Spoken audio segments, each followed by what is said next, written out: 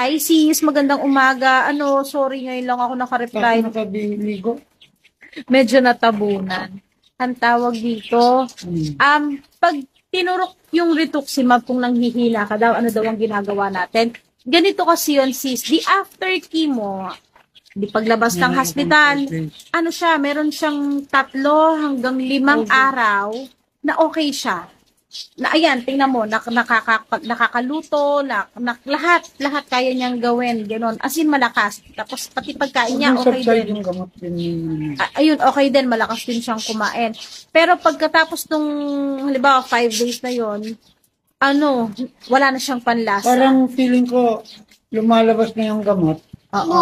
Kasi sinasama na yung mga, kung ano mang meron doon. Nag-orange yung ihi ko. Doon ko nararamdaman na humihinga na ako. Yun na yun. Oo. Um, basta after after niya maging malakas, nanghihina na siya. Hindi na rin siya masyadong nakakakain. Wala na siyang gana. At saka ano, tulog. Two, two, three days lang. Normal yun. Tulog na lang siya ng tulog. Hindi, nung nakaraan, five days yun eh. Yun yung pinaka matagal niya. Limang araw siyang nakaratay lang talaga. 1,400 milligram eh. Nakaratay lang talaga siya. Pero after, nilagnat pa nga eh. Nilagnat pa siya. After nun, sis, um, Balik ayun, sa balik, lakas balik sa, ano, balik sa normal ulit. Hayaan mo lang siya. Siguro, ano, epekto lang siya ng gamot. Kaya, Handa kayo lugaw. kaya, ano, Lugaw kaya lang nanghihina. makakain niya. Ako, na, lugaw lang.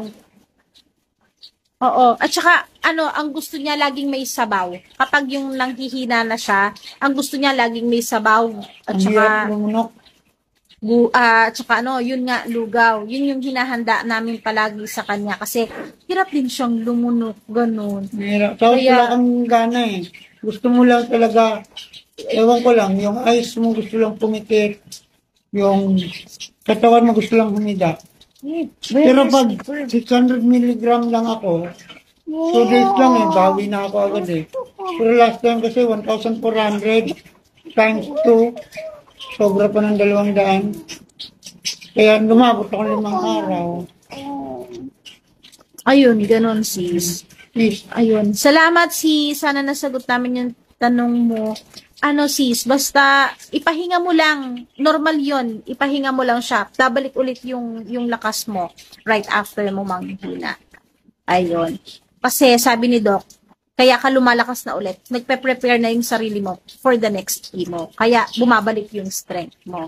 So, ayun. Maraming salamat. Ingat ka palagi and God bless. Pagaling ha sis, pagaling ka. Bye-bye po.